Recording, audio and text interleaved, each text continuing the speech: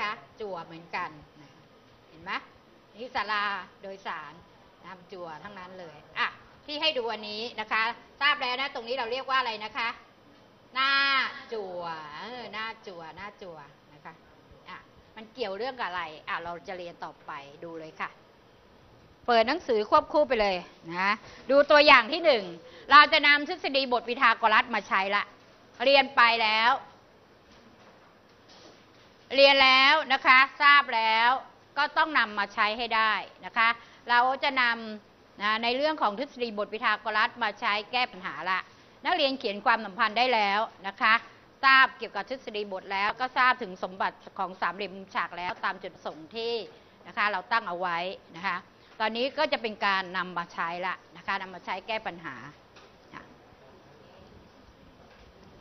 ดูเปิดหนังสือเลยนะคะ หน้าสิบ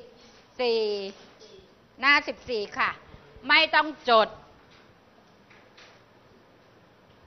เปิดหนังสือเรียนหน้าที่สิบสี่นะคะ ตัวอย่างที่หนึ่งนะอะมาดู ไม่ต้องจดนะคะ ดูให้เข้าใจบกจัว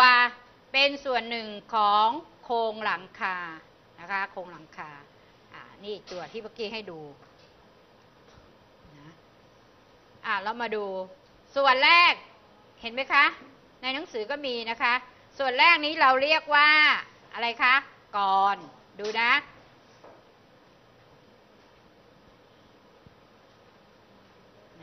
ด้าน AD ดูนะคะกรตรงไหนที่เรียกว่ากร AD คือยาวมาทั้งหมดนี้เลยนะคะ AD กับ A อะไรคะ AE เรียกว่าอะไรคะกรนะคะ ต่อไป ด้าน BD คือที่โผล่ออกมาเนี่ยเราเรียกว่าชายคานะคะ D อ่า BD กับ CE เรียกว่าชายคา ใครอยากอธิบายแทนนะเนี่ยต่อไปส่วนอีกส่วนหนึ่งเราเรียกว่าคือ BC นะคะดูนะ BC เรียกว่าคือเคยได้ยินไหมนะคะเราเราเรียกว่าคือนะคะตรงนี้ อันนี้เป็นอะไรคะ กรนะคะ AD เนี่ยยาวลงมาทั้งหมดเนี่ยเรียกว่าอะไรนะกรส่วนแค่นี้ BD เนี่ยเรียกว่าชายคาอ่าต่อไป ตรงนี้เรียกว่าอะไร ดั้งเออเรียกว่าดั้งนะคะอะรู้ส่วนประกอบของอะไรแล้ว หน้าจั่วแล้วนะคะอ้าวต่อไปอะ การสิ่งที่เราจะนำมาใช้ นักเรียนดูในหนังสือต่อเลยนะคะ บอกจากรูป AE AE คือที่เรียกว่าอะไรนะฮะกรยาวเท่าไหร่คะ 4.9 เมตร ต่อไป AH เท่าไหร่คะ 1.6 เมตร ที่เรียกว่าอะไร ดังอ่าต่อไป BC เท่าไหร่คะ 6 เมตร ที่เรียกว่าอะไร ต่อไปนะเขาบอกว่าเนื่องจากสามเหลี่ยม ABC เป็นรูปสามเหลี่ยมหน้าจั่ว ดังนั้นนะคะเขาบอกว่า BH BH กับอะไรคะ เท่ากับ HC เท่ากับเท่าไหร่คะ6มัน 6 ใช่ไหมเพราะฉะนั้นถ้าเราเอาเพียงเท่าไหร่คะครึ่งก็ทำไมคะ หารด้วย 2 ก็ได้เท่าไหร่คะ 3 งงไหมอะดูรูปเมื่อกี้นี้ ตรงทั้งหมดเนี่ยมันเท่าไหร่คะ B อะไรคะ BC ที่เรียกว่าอะไรคือมันยาวเท่าไหร่นะคะ6ตอนนี้เราเอาแค่อะไรคะ BH หรือ HC มันก็เพียงเท่าไหร่คะ ครึ่งเดียว เพราะนั้นเราก็เอาอะไรหาร 2 หาร เข้าใจไหมคะ แล้ว A อะไรคะ A H ตรงนี้ที่เรียกว่าอะไรดั้งเนี่ยมันตั้งอะไรคะ ตั้งฉาก มุมนี้เป็นมุมละมุมฉาก เข้าใจยังอ่าอันนี้ยาวเท่าไหร่ ดั้ง ยาวเท่าไหร่หนึ่งจุดหกเท่าไหร่คะเมตร ตรงนี้เท่าไหร่แล้วเมื่อกี้นี้ ทั้งหมดมันเท่าไหร่คะหกเราครึ่งหนึ่งเท่าไหร่คะสามทราบแล้วนะ เพราะนั้นเราจะได้ A อะไรคะ A H เท่าไหร่คะหนึ่งจุดหกแล้วก็ H C เท่าไหร่คะสามเนื่องจากสามเหลี่ยม A H C เป็น สามเหลี่ยมมุมฉากนะคะ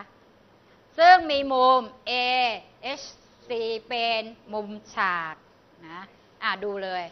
เราก็จะได้เราใช้ทฤษฎีบทวิทากรัสแล้วนะคะ ว่าไงนะ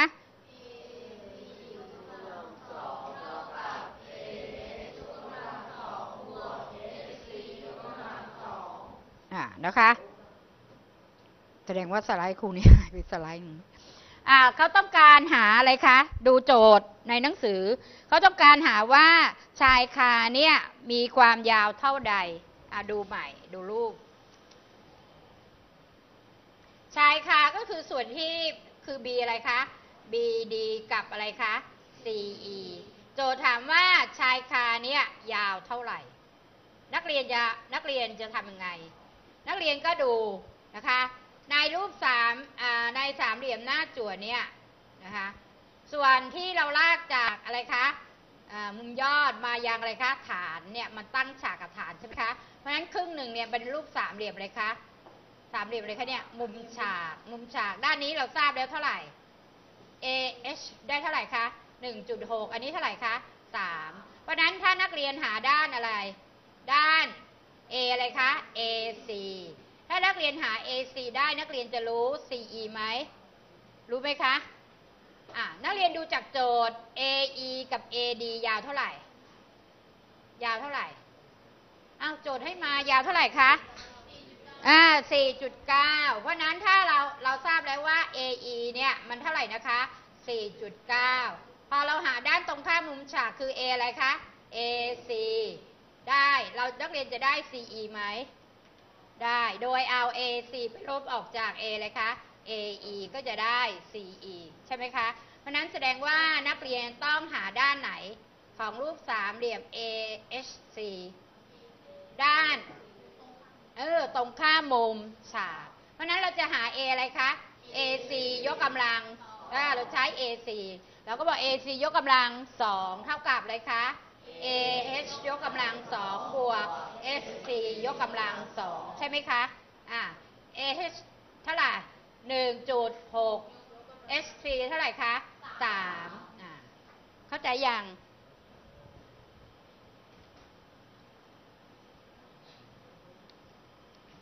ทำเลยนะคะ เราก็จะได้ AC ยกกำลังสองเท่ากับ AH ยกกำลังสองบวก HC ยกกำลังสองแทนค่าไป นะคะ1.6ยกกำลังสองเท่าไหร่อ่า2.56บวกกับ9รวมกันแล้วได้11.56นะคะอ่าดูวิธีการคิดว่าอะไรยกกำลังสองแล้วได้11.56อันนี้ทศนิยมกี่ตำแหน่งนะคะสองตำแหน่ง เพราะฉะนั้นจำนวนที่มายกกำลังสองต้องเป็นทศนิยมหนึ่งตำแหน่ง ลงท้ายด้วยเลขอะไร เลขหกไม่อะไรก็อะไร ไม่สี่ก็หกสี่สี่สิบหกหกหกสามสิบหกลงท้ายด้วยหกไม่สี่ก็หกอะตัวหลังได้แล้วนะคะ ไม่สี่ก็หกดูตัวหน้านับไปสองตัวหรืออะไรคะสิบเอ็ดอะไรยกจำนวนอะไรยกกำลังสองแล้วไม่เกินสิบเอ็ดหรือใกล้เคียงสิบเอ็ดอะไรคะสามสามสามเก้าสี่สี่สิบหกเกิน ดังนั้นตัวหน้าคือสามตัวหลังไม่สี่ก็หก แสดงว่าไม่สามจุดสี่ก็สามจุดหกแล้วเท่าไหร่ล่ะนักเรียนก็ลองไปคูณกันเอาสามจุดสี่คูณสามจุดสี่ได้ไหมอ่าถ้าได้ก็ไม่ต้องหาสามจุดหกนะคะ ถ้าไม่ได้นักเรียนก็ต้องเอา 3.6 คูณ 3.6 เพราะเราวิเคราะห์แล้วว่าน่าจะเป็นนะคะสองจำนวนนี้นะคะ เพราะนั้นเราได้ AC เท่าไหร่นะคะ 3.4 นะคะ AC กำลังสองเท่ากับ 3.4 คูณ 3.4 AC ก็คือ 3.4 เราได้ความยาว AC ละ ต่อไปเราจะหา CE ได้ไหม เราก็เอาไปลบออกจาก 4.9 นะคะ ดังนั้น CE หรือ EC ก็เท่ากับ AE ที่เรียกว่าอะไรนะ ก่อนยาวเท่าไหร่คะ 4.9 ลบด้วย AC ที่เราหาได้เมื่อกี้นี้เท่าไหร่นะคะ 3.4 เราก็จะได้คำตอบคือ 1.5 1.5 นี่คืออะไร ชายคานะคะ นั่นคือชายคามีความยาว 1.5 เมตรอะต่อไปดูตัวอย่างที่สองไม่ต้องโจทย์อยู่ในหนังสือแล้วทั้งนั้นอะดูเลยค่ะ ทุกคนดูนะคะแล้วก็ฟังนะคะ แล้วก็คิดนะวิเคราะห์ ตอบคำถาม ตัวอย่างที่สองนะคะ โทรทัศน์เครื่องหนึ่ง มีหน้าจอที่วัดตามแนวเส้นทแยงมุมอะแสดงว่าหน้าจอทีวี หรือหน้าจอโทรทัศน์เนี่ยเวลาที่เขาบอกว่าโทรทัศน์เครื่องเนี้ยกี่นิ้วนะ 40 นิ้ว 32 นิ้ว เท่าไหร่นะคะ40อ่ากี่นิ้วก็ตามเขาวัดตามอะไรทราบไปอย่างเขาวัดตามแนวอะไรแนวเส้นทแยงมุม นะคะเขานัดเขาวัดตามแนวเส้นทะแยงมุมนี้นะคะเขาไม่ได้วัดอย่างนี้นะเขาวัดอย่างนี้นะคะเขาจับไว้ด้วยบอกโทรทัศน์เครื่องหนึ่งหน้าจอที่วัดได้ตามเส้นทแยงมุมได้เท่าไหร่คะ 20 นิ้ว ถ้าหน้าจอโทรทัศน์สูง 12 นิ้ว จงหาว่าหน้าจอโทรทัศน์ยาวเท่าไหร่ อะ เราใช้แบบจำลอง เห็นไหมคะ ต้นชั่วโมง เราพูดถึงว่า มาตรฐานนี้อยู่ที่มาตรฐานเลยคะ3จุดคอ3.2 ใช่ไหมเกี่ยวกับการอะไรคะ มีการนึกภาพจำได้ไหมคะ ก็จินตนาการมีการสร้างแบบอะไรคะจำลองขึ้นมานะคะเราต้องการหาความยาวของนะคะหน้าจอโทรทัศน์ เราก็สร้างแบบจำลองขึ้นมานะคะเราก็จะเห็นว่ามันตรงนี้มันก็ตั้งอะไรคะมันเป็นรูปสี่เหลี่ยมอะไรเนี่ยผืนผ้า สี่เหลี่ยมผืนผ้าเป็นรูปสี่เหลี่ยม ชนิดหนึ่งในรูปสี่เหลี่ยม มุมฉาก สี่เหลี่ยมมุมฉากมีสองประเภทคือสี่เหลี่ยมผืนผ้าและสี่เหลี่ยมจัตุรัส ดังนั้นนะคะ สี่เหลี่ยมรูปนี้เป็นสี่เหลี่ยมผืนผ้า มุมก็เป็นมุมอะไรคะ มุมฉากแต่นี้พอวัดแนวเส้นทแยงมุมเนี่ยนะคะ เราก็ใช้แบบจำลองออกมาก็เป็นรูปสามเหลี่ยมมุมฉากนะบอกหน้าจอทีวีสูงเท่าไหร่นะคะ 12 นิ้ว เราสร้างแบบจำลองขึ้นมา ฟังนะคะ วลาที่นักเรียนทำแบบฝึกหัด หรือไปเจอข้อสอบหรืออะไรก็ตามที่มันเป็นโจทย์ปัญหานะคะ เมื่ออ่านโจทย์แล้วนักเรียนก็ลองสร้างนะคะ แบบจำลองขึ้นมา หรือจินตนาการนะคะ นึกภาพจินตนาการออกมาก่อนแล้วก็สร้างแบบจำลองขึ้นมานะคะ นี้เราสร้างแบบจำลองแล้ว นักเรียนก็เขียนนะคะตัวอักษรกำกับ แล้วก็เขียนตัวเลขกำกับนะคะความสูงของนะโทรทัศน์ ก็คือ AB เมื่อเราสร้างแบบจำลองขึ้นมาเท่าไหร่นะคะ เท่าไหร่เนี่ย12